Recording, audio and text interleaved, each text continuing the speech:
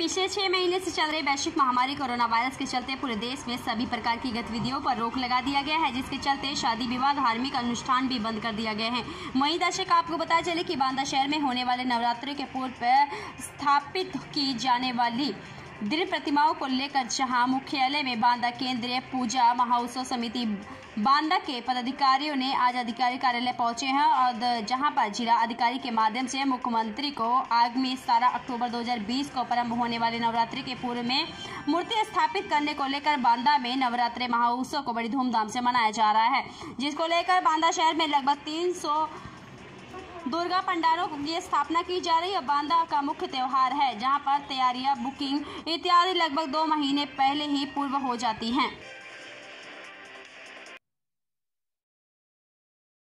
सम्मानित पदाधिकारी आए माननीय जिलाधिकारी महोदय को ज्ञापन देने के लिए जी। कि 17 अक्टूबर से नवरात्रि पर्व प्रारंभ हो रहा है। जी। जो बांदा का ऐतिहासिक महोत्सव है लेकिन अभी तक सरकारी कोई गाइडलाइंस नहीं आई जिसमें लोगों बड़ा ऊप की स्थिति बनी हुई है। जी।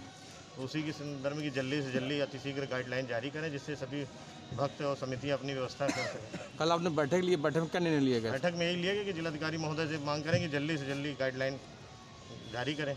क्या क्या दिक्कत अभी आ रही होगी?